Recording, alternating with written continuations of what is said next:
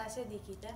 I'm 17 years old, I'm from Lithuania, and I'm looking for a full tennis scholarship for the fall 2023.